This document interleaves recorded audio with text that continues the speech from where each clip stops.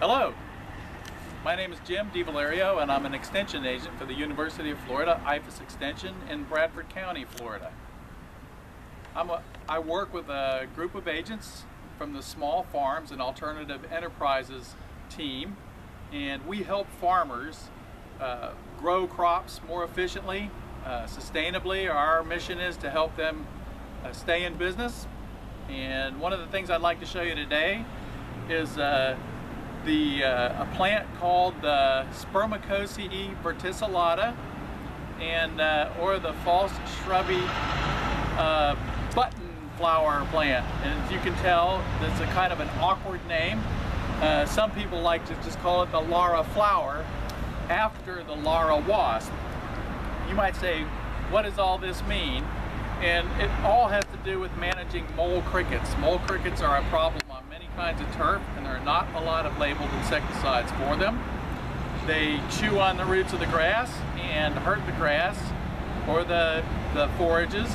Uh, and so the Larra wasp oviposits on the mole crickets and that means it lays its eggs on them and it kills them. So I have a picture we're going to zoom in on of an adult Larra wasp. It looks scary, but it's really not. It's a gentle wasp. It's not aggressive. It won't sting you. It can, but it won't.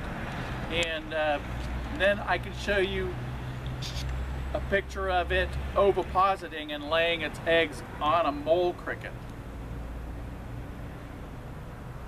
So the plant is needed by the wasp because the plant, the Larra flower plant, supplies nectar for the wasp. So we have these uh, plants established on our research farm and we have found that if you plant plants there, the wasp will show up and it will start to control your mole cricket problem.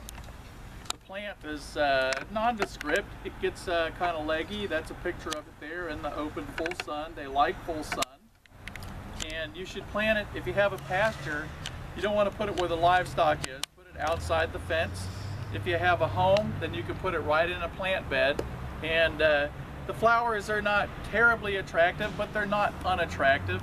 They're kind of small and inconspicuous as you can see.